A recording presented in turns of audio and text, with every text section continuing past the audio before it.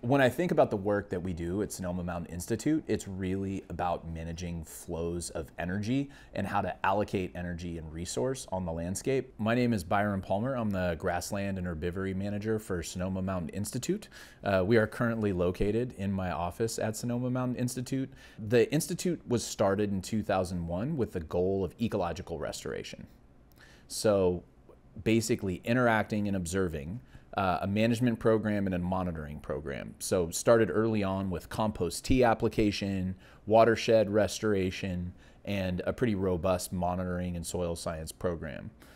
In 2011, the Institute decided that they wanted to start a regenerative grazing program to augment the management that was already going on. And in 2013, I came on and helped them grow that program. And since 2013, we've moved from managing uh, our home ranch and, and one additional ranch that was around 500 acres, and now we're managing 10 to 11 ranches around 6,600 acres in Marin and Sonoma counties. We manage private land, we manage public land, government land, um, all using cattle and managed herbivory essentially to improve the overall ecology on the landscape. All with the, uh, the focus to improve ecology and specifically improve overall biodiversity. We've got 25 soil science locations, uh, soil monitoring locations, and we look at that data every year and then try to adjust what we're doing grazing wise based on that information.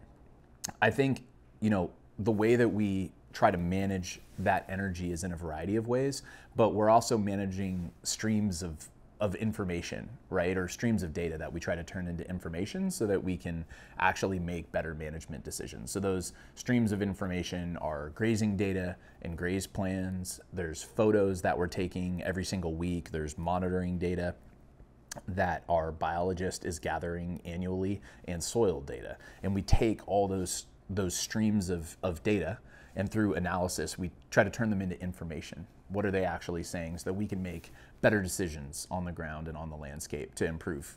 I'm guessing that most of the folks that are uh, tuning into this video series are, are pretty familiar with the general tenets of uh, rotational grazing or regenerative grazing or you know there's about there's about a million names for it. And um, it's very similar to politics. Wherever you fall and wherever you land you might have strong opinions about what it should be called and what it includes. But i think at its core what we're talking about is trying to mimic these ancient ecological relationships that existed for a very long time between herbivores grasslands and predators.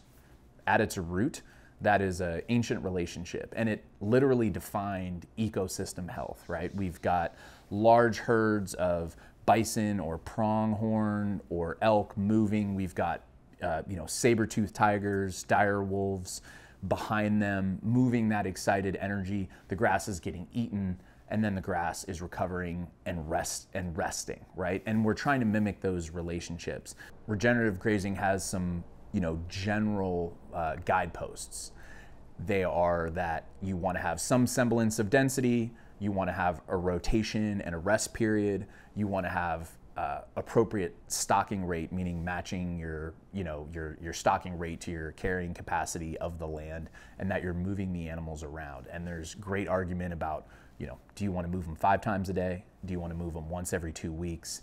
And um, you know, I'm, I'm sure people have very strong opinions about that. But in general, with rotational grazing, we are trying to move the animals uh, in some semblance of a rotation so that grass can actually rest and recover.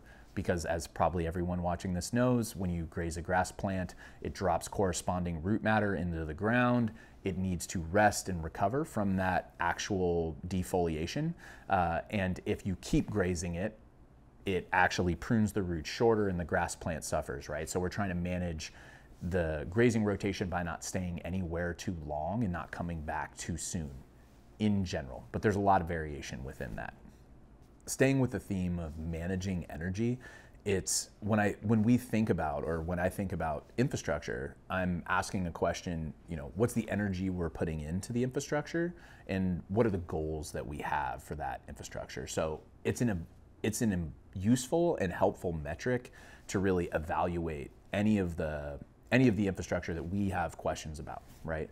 When I'm thinking about infrastructure, I'm thinking about uh, you know what is the cost in terms of a, cup, a couple of things. They're, they're both economic and non economic. So there's the initial capital expense, there's the ongoing maintenance cost and the skills actually necessary to maintain whatever the infrastructure is, which is an extremely important cost.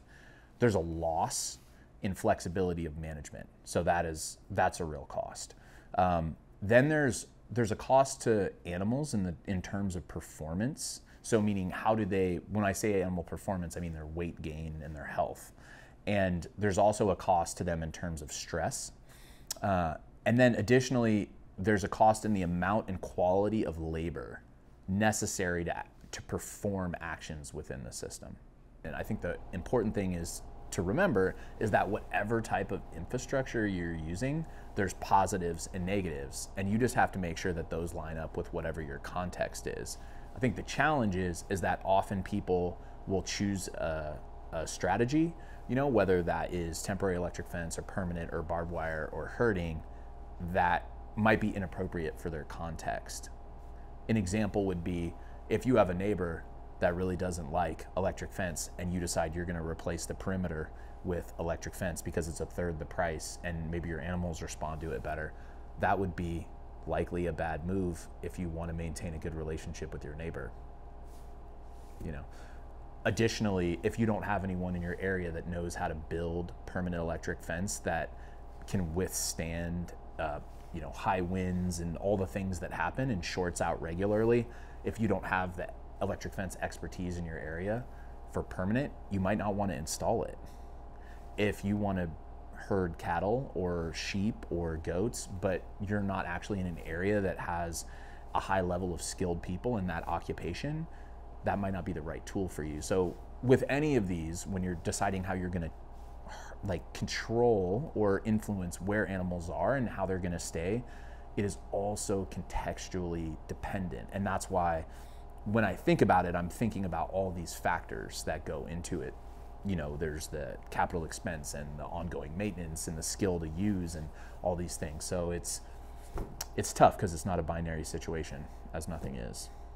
So in in order to manage the in order to influence the management of grass, we actually need to have influence over the number of animals in a given place for a certain amount of time. And historically, this was done with shepherds or cowboys, you know, essentially people and their human calories and, you know, dogs and, and horses and their calories. And initially the capital expense of this, you know, when we're, when we're thinking through that framework that I talked about of, of those five things, the you know the initial capital expense was low.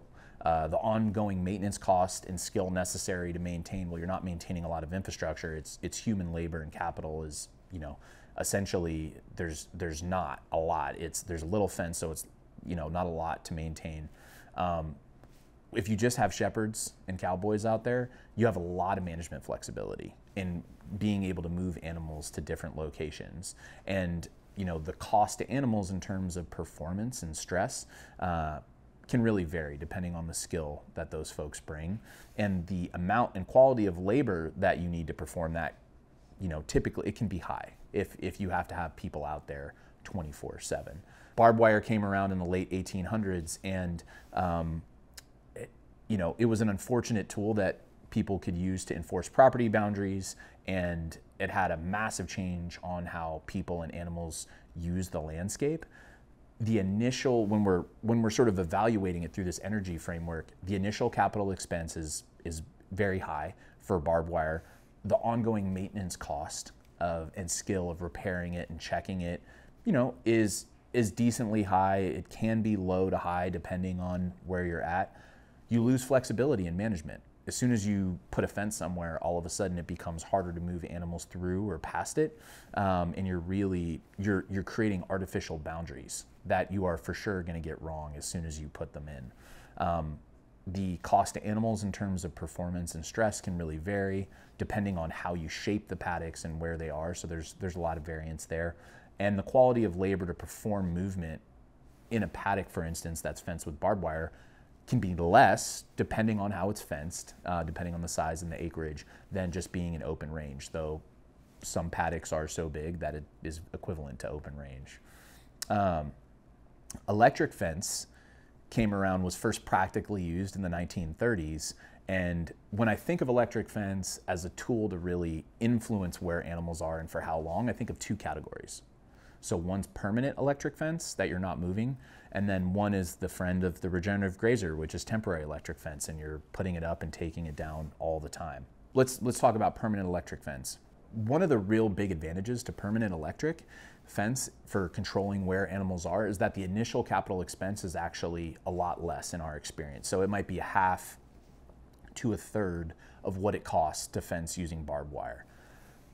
One of the challenges with electric fence is that the ongoing maintenance cost and skill necessary to maintain it, depending on topography and tree cover and everything, can be can be a little bit higher. It's actually challenging sometimes to diagnose what's going wrong with a permanent electric fence. So whereas most folks can fix five strand barbed wire, not everybody can fix electric fence uh, because of the diagnostic component of it, right? So that's that's a little more challenging.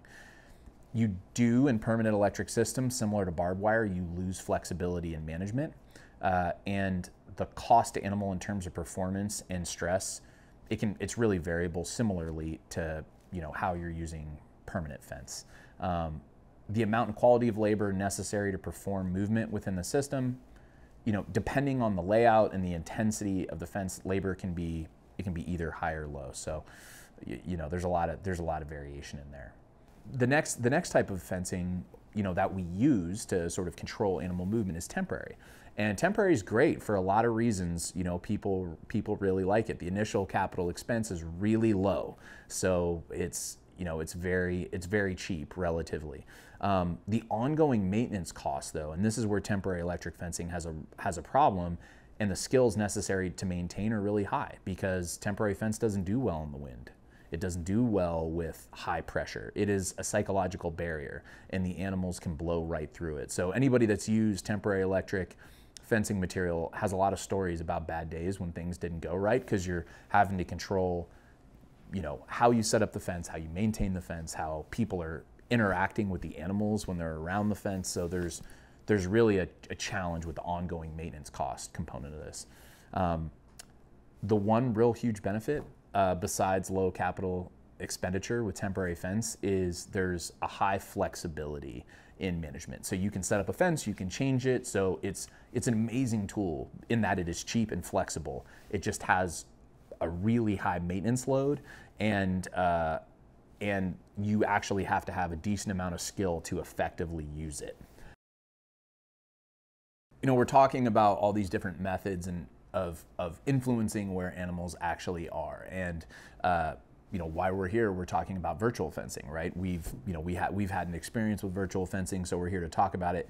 It we first heard about it or i first heard about virtual fencing back in a conference i think it was 2009 it was at the beginning of my grazing career. And uh, the the scuttlebutt about the virtual fencing at that point it was only going to be two more years and then the virtual fencing was going to be here. So by 2011, 2012, they'd have this figured out. And it was really exciting to think about the ability and the flexibility to manage areas without fences.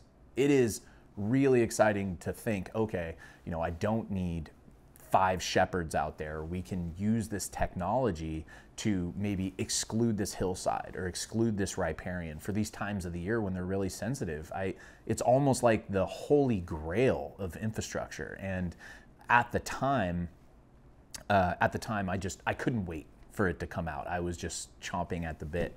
Um, and I think the basic value proposition is that you're paying for the technology and you then get, you know, lower labor costs for moving and checking cattle, lower fence costs, um, an in, infinite amount of flexibility in, in where you're putting your fences, and then you're getting great data that comes in that hopefully through analysis you can turn into information about animal behavior.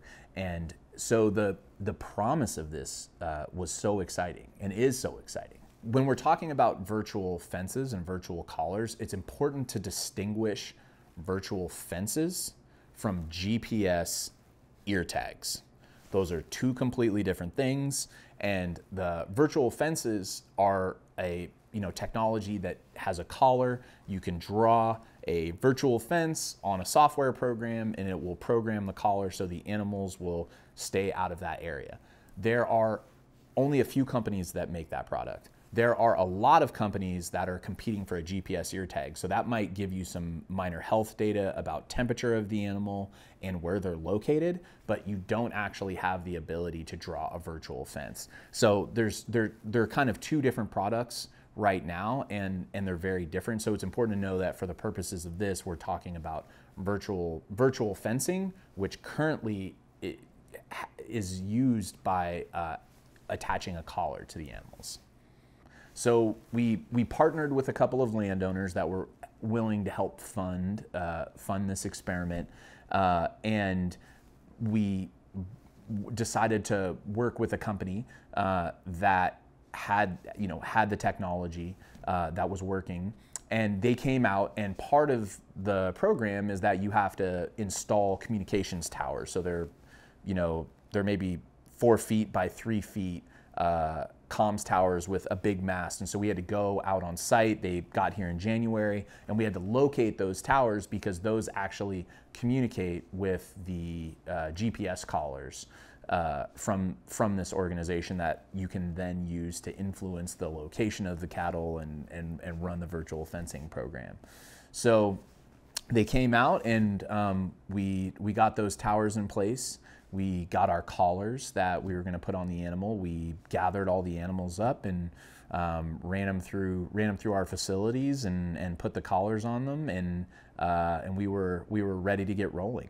Um, it's important to note that this is a very very complicated intersection of technology. We're talking about uh, we're talking about hardware that's physically complicated. We're talking about hardware that intersects with software then how people use the software, and then animals and their psychology and behavior. And they know nothing about all the other things I just talked about. They just know that they are now wearing a collar on them that you know has the ability to make sounds and also provide an electrical stimulus. So um, it is it is a complex and and and challenging technology to to deploy effectively. It has great promise.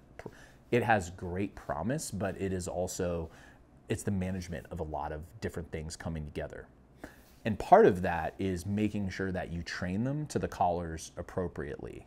Part of that training is putting putting the animals in an area where you have definitive uh, pasture boundaries with hard fence that can be used as visual cues, and then layering on your virtual fence around those hard boundaries but essentially, you're you're trying to teach the animals in the shortest uh, amount of exposure time that there's an auditory auditory band when they're entering into a specific virtual fence that you put into place, and then if they keep going, that auditory band turns into an electrical stimulus unless they turn around and move in the other direction. So after we got our towers in place and we got our collars on, we then tried to control an optimum environment for the animals so that they could get a good, solid, functional learning experience with the least amount of variables possible. So we we had two different herds that we actually did this with. We had a beef herd and we had a dairy herd. And we put them both through the training program that was recommended by the company. And um, they seemed to respond fairly well to the training program. The, the collars were working, they were connected to these these towers, um, and the towers were communicating with our software. We could put up these fences, and the animals respected the boundaries in those in those training paddocks, which was you know which was encouraging. If you look at the virtual collars through this this lens that we were looking at barbed wire and herding and temporary and permanent electric fence, the first the first you know item on the agenda is initial capital expense. And for the virtual collars at this stage of their development, or the virtual fencing for this stage of their development, it's pretty high. So the collars that you have to put on the animals range around $45 a year. Uh, you have to get additional batteries depending on how the battery life works. That can be an additional $10. If um, you also need a tower to communicate with the collars, and that's around $11,000 in that range. So you know, if you had if you had 250 head, that's in the range of $24,000 a year. So the initial capital expense for these animals is decently high. When you're evaluating this tool, the initial capital expense is high if you don't have a landowner partner or somebody that's willing to foot some of that bill. When you look at the second piece of the, when you look at the the second part of the, the matrix, which is the ongoing maintenance cost and skill that's necessary to maintain, it's actually pretty high. So, you know, the promise is that there's going to be a, you know, a savings in labor, uh, a savings in labor and flexibility in management, which is true uh, in a certain way, but collaring the animals is its own activity. So you have to gather the animals and you have to put the collars on to the appropriate size. One of the other things that can happen is the collars can break uh, or they um, or they can fail. So you then need to sort, bring animals back in, sort them out. Um, we had a pretty high, there was a manufacturing error on the first run of some of our collars, so we had a pretty high failure rate mechanically on, on them, and we dropped 30% of our collars. So we had to then go find the collars. We had to bring them back. We had to bring the animals in. We had to sort off the animals that didn't have collars, right? And this just all takes time. Then you have to keep track of all those things. You have to send those collars back or you have to figure out how to repair them, right? And so the ongoing maintenance cost of all that ends up being quite a bit. Um, you also have to have really good facilities. So a lot of operators that are maybe smaller might not have a set of $50,000, $100,000 corrals that they can use to actually put these collars on. So you need a really good squeeze. You need, you, you know, you need the ability to sort, you need alleys, those kinds of things. Um, additionally, in terms of ongoing maintenance cost, uh, the animals, if you put it on a smaller animal, those animals grow in size. So you actually need to readjust the size of the collar based on the animal that's growing. And we found that in a six month period, we had to adjust the collars on growing animals at least once. So you can imagine you're gonna have to bring them in at least twice a year, probably, to adjust the collars to deal with, uh, to deal with collars that aren't working or are not functional. Another, another complicating part of the management um, and maintenance of this is as it relates to animal behavior. So if you have 100 animals that have this technology and five of them for some reason have a failure in that technology, that could be a dropped collar, that could be a battery that dies, that could be uh, that could be just the collar malfunctioning itself. All of a sudden, those five animals are not responding to the virtual fence that you've drawn. And so they're going to create what's called a pressure budget that pulls the other animals across that virtual fence. Now, they might not pull all of them, but maybe they pull a few, and those few maybe pull more. And so that's just a management decision that you're going to have to make about your tolerance for which percentage of the herd is actually uh, has the technology working. And that's just, it's a new type of uh, management behavior that you have to engage in. It doesn't happen out of nowhere, right? Now, now all of a sudden you're having to think, you know, how many collars do I need and how what's acceptable failure and when do I bring the animals in and all those things take time and energy. I think flexibility for this for this technology is where it absolutely shines and it's amazing, right? The the idea is that you can fence out a riparian or fence out an entire area that you, you know, maybe it got burned and, and you're not going to put up an actual permanent fence and temporary fence in a lot of settings is the inappropriate tool. So let's put up a virtual fence on this burn scar or let's fence out this riparian for two years. And that is amazing. And our experience with the technology is that the flexibility was just fantastic. And I think, you know, that that is one of the huge areas of promise with it. It should be noted within the flexibility of changing the fences is is the way that the, the technology actually works. So we talked about these communications towers. You have to actually draw a fence on your computer, upload it. It goes through AT&T and shows up at the tower, and then the tower has to communicate with the collar. And the collars talk to the towers on a regular timeline. On average, it's every half an hour. And the animals actually have to be in the coverage area. So while the technology is extremely flexible, it also has a time lag. And if those animals are down in a canyon where there's not coverage, they're not going to get that update. So while there's amazing flexibility, there's also operational constraints around how rapid you can deploy that, um, which is one of those factors that you have to learn how to manage. The fourth part of our evaluation matrix is the cost to animals in terms of performance and stress. Um, and I would say that as it relates to virtual fencing in our experience of it in our operation, which you know is important to say because I'm sure there's a lot of people that have had a wide range of experiences. Um, the cost to the animals in terms of performance and performance and stress really varies, and it's going to be variable depending on how it's used.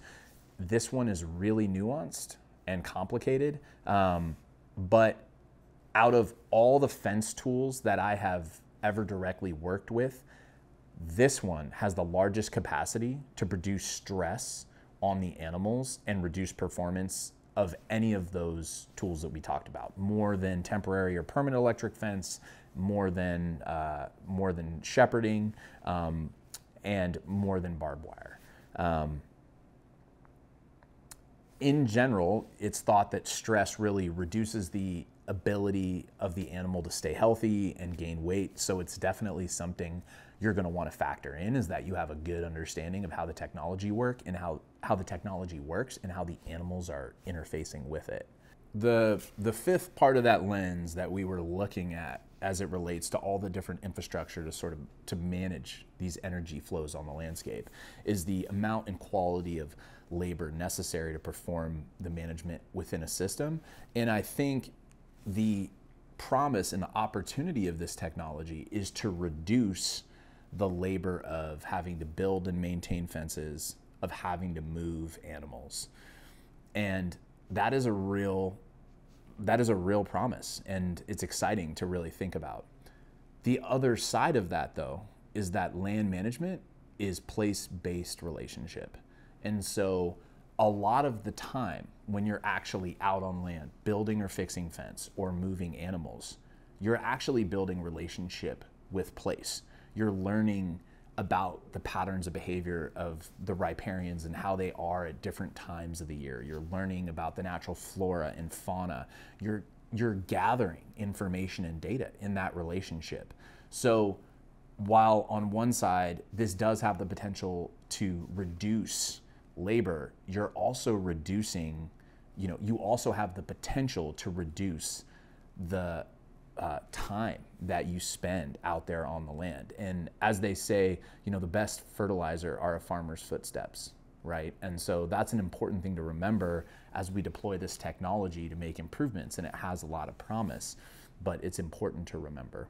In our experience, you know, looking at the promise of decreased labor, there were things that popped up that we just really didn't anticipate. Um, an example would be that uh, we would have five animals out of a group of 100 that dropped collars, or maybe it was 15. And those animals that lost their collars would walk through the virtual fence. And then we would have to make, we would have to go back and grab them, add the collars back on. We'd have to go find the collars and retrain them to the fence um, at times. And so there's, while you're replacing fencing or you're replacing uh, possibly moving the animals, you have a whole nother host of labor that is required to, to manage to actually get the technology to work well.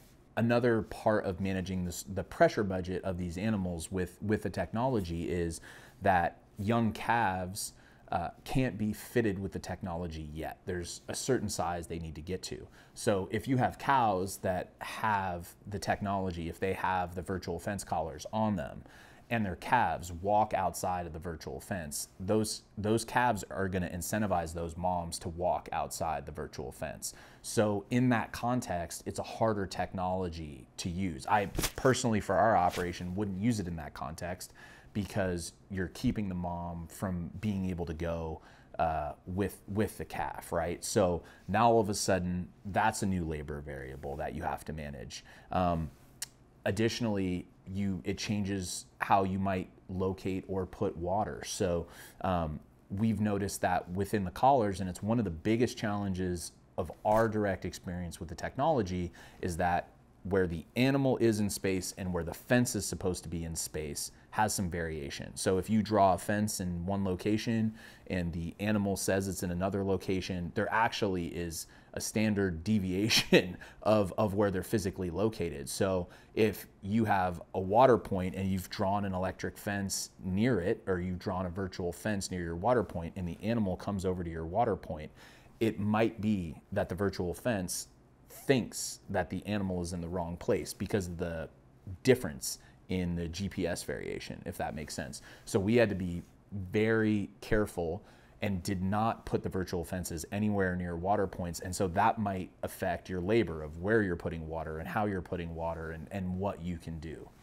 I think the, the promise of virtual fencing really does exist. The, the first time I saw the grazing data of the animals and where they're showing up in space, a time lapse video of how they were grazing, I realized nothing was ever going to be the same again in understanding uh, how animals are using the landscape. I mean, this is an explosion in information, and we don't even know how to use it yet, and it's extremely exciting. Um, as it what it means for the viability of, of your business. If you have a small operation or a medium sized operation, I think it's not the right tool until the costs come down uh, and until the battery life improves or the the management of the technology improves. Like I think of if I was running a you know, if I was running an operation by myself, it's a pretty labor intensive activity to bring the animals in, get the technology right, and keep it going. Um, so I, I think it makes more sense on a larger scale at bigger at bigger resolutions. Um, so I don't I don't think it's you know based on our experience. If I was running a small operation or even our sized operation, uh, which is around 6,600 acres and 1,500 head, I, I don't think it's the appropriate tool in that context yet. Until price comes down, battery life improves, um, until you have to handle the hardware a little bit less. When when I think about the virtual fencing technology, there's a number of things that are going well. The first thing that they have that works really well is actually the communications. And uh, you know they they have a communications background. The organization that we were working with, um, so the the collars, the virtual fence collar's ability to actually talk with the computers and and and with the towers is is pretty phenomenal. Um, and the range on these things is is amazing. So I think that part of the tech with the organization we were working with was working really well. The grazing data, the seeing the animals move through space, amazing seeing that history of data. And I think it's going to reveal so much and so many new insights about animal behavior and, and grazing patterns are, are going to come out of that. The other thing that's really phenomenal about the technology is even if you're not using it to gather the animals, which we only tried once and decided we were going to just manually gather them, it's really helpful to find and locate the cattle on big landscapes. If you've got a 500 acre paddock with a lot of places to hide, uh, this is a great technology for being able to find them. I think there's a there's a ton of potential for the virtual fencing collars once more once more integrated health data comes in. Once you have the temperature of the animals, data streams like that that are integrated into the virtual fence technology, I think it's going to be hugely impactful in being able to attend to a sick animal that you otherwise wouldn't be able to attend to. It's going to be uh, it's going to be phenomenal in your ability to deliver targeted care because a lot of the time you won't know until possibly it's too late. So I think there's there's huge opportunities there. There's a lot of things that this technology does really well, and like any new technology, it's um, it has all these areas for improvement and learning and growth. I, it, it kind of reminds me of a violin that dropped out of the sky that no one really knows how to play yet, right? I mean, you've heard a lot of people play the violin, and um, and they might not have made it sound too good. And if there was no one that knew how to play it, it'd probably take a really long time for people to learn how to play it. And that's kind of what's happened with these virtual collars. They, you know, they've come down from the sky. A lot of people have worked really, really hard, and where animals and people and software and hardware and topography and ecology are all intersecting. that is complicated. And it's a whole new field that needs to be flushed out and developed with best practices and learnings as it relates to all those things intersecting. And so there's a lot of room for this whole new field to develop. And frankly, we need people that are really passionate about helping that intersection come together gracefully. Um, I'd say, first and foremost, the most important area for development and improvement as it relates to virtual fencing is to take the uh, to take the technology at this point it's a collar and have it have some flexibility on a per animal basis so right now the way these the way that the collar works the virtual fence collar for the virtual fence is that you program a uh, sound barrier and a stimulus barrier and if the animals walk into the sound barrier, the, the collar makes an auditory noise. And if they go into the stimulus barrier, then they receive an electrical stimulus. The challenge with that, when you're doing it across the board with the same profile for every animal, is that animals behave differently to stimulus. I have dogs. I use corrective collars at times for things like keeping them from eating my daughter's chickens.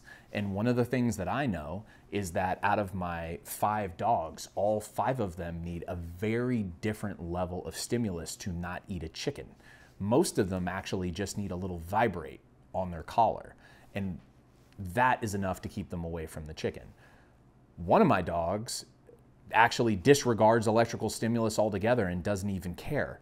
And so, with this huge variation in the way that animals experience uh, a physical stimulus and stress, the challenge with deploying the technology is that you're going to have a percentage of animals that the stimulus is appropriate for, and then you're going to have a percentage on either side where it's not enough or where it's too much. And I think the biggest opportunity for growth is creating a software interface that allows for pattern recognition of individual animals and how they interact with the technology.